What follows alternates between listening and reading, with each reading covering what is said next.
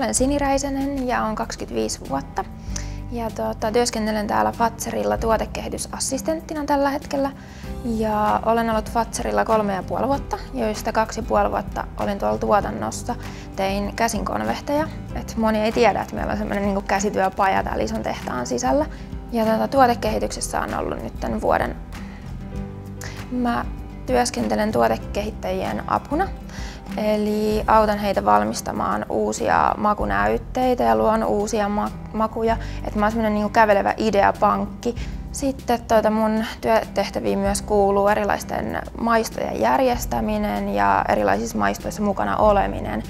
Et esimerkiksi kaakao, massa ja kaakaovoimaistoissa. Ja sitten mä pidän myös huolen meidän tuotekehityslaboratorion siisteydestä ja järjestyksestä ja hyvin monipuolista.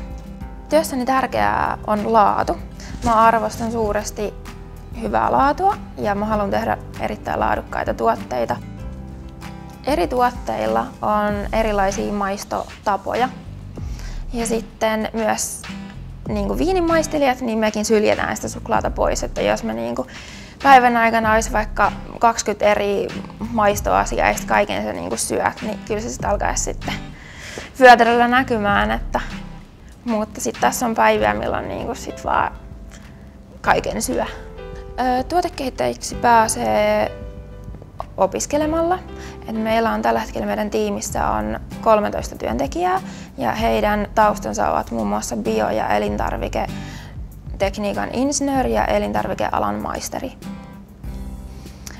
Pitää olla erittäin hyvä makuaisti ja me pidetään huolta meidän makuaistista. Et meillä on joka vuosi on perusmakutesti, missä sitten testataan, että sä löydät kaikki niin kuin miedon suolaisuudenkin ja makeuden ja karvauden ja näin edelleen.